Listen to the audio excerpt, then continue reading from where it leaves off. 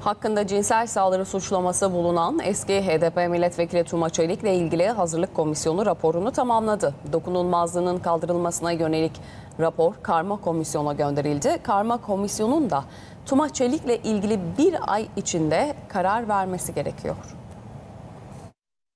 Birinci Hazırlık Komisyonumuz oy birliğiyle dokunulmazlığın kaldırılmasına karar verdi.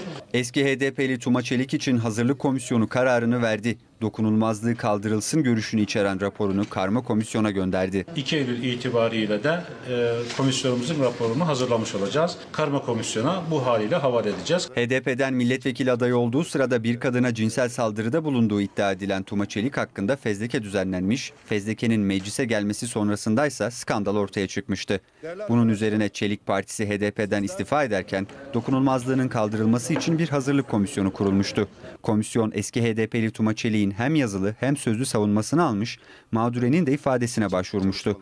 Yapılan inceleme sonrasında 5 kişilik komisyon oy birliğiyle dokunulmazlığı kalksın demişti. Yasamanın sürekli tecavüz yapan insanın korunuyor algısının oluşmaması açısından konunun yargı tarafından yürütülmesini doğru gördük ve komisyon üyeleri oy birliğiyle bu kararı verdi.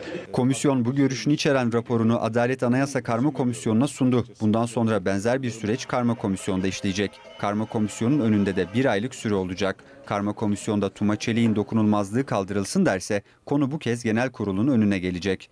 Genel kurulun son kararıyla da dokunulmazlık kalkacak veyahut da kalkmayacak. Genel kurulda yapılacak gizli oylamada salt çoğunluk dokunulmazlık kaldırılsın derse Tuma Çelik dokunulmazlık hakkını kaybedecek ve hakkındaki cinsel saldırı iddiasına yönelik yargılama süreci başlayacak.